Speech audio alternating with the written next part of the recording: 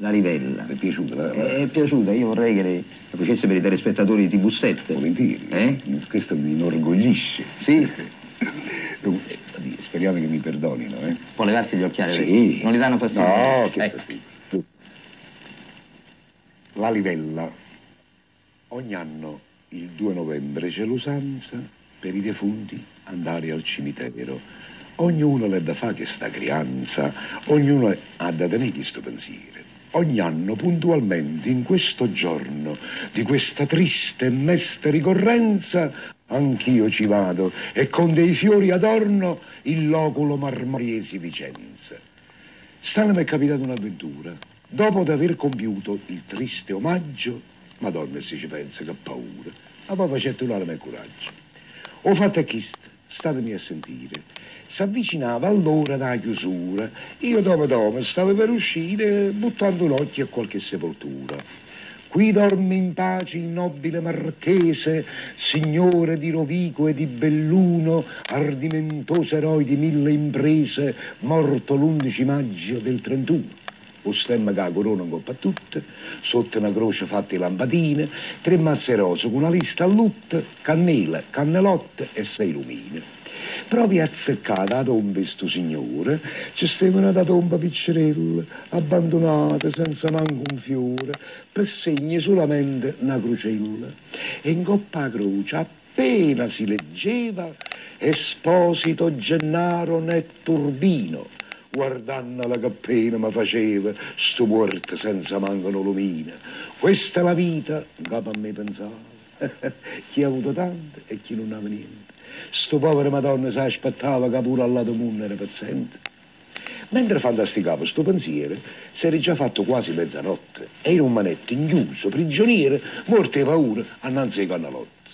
Tutt'hanno tratto, che vega lontano due ombre avvicinarsi alla parte mia. Pensai, sto fatto a me mi pare strano. Sto inchescetato, dormo. Poi è fantasia. Ada che fantasia! Ero un marchese, con tuba, a carella e con pastrana. Chi l'ha da presa is un brutto arnese, tutto fedente e con una scopa a mano. E chi certamente è Don Gennaro, o morto poverino, lo scopatore. In questo fatti non ci vedi chiaro.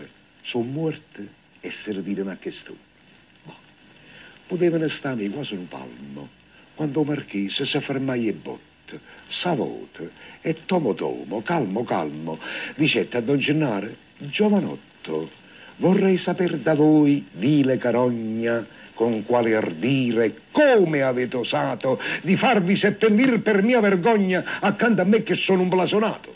La casta è casta e va rispettata.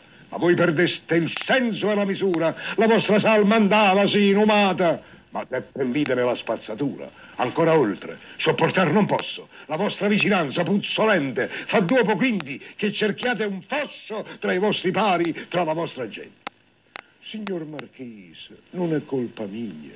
Io non avesse fatto questo torto. Mia moglie è stata a fare sta fesseria. Io che poteva fare? Io ero morta.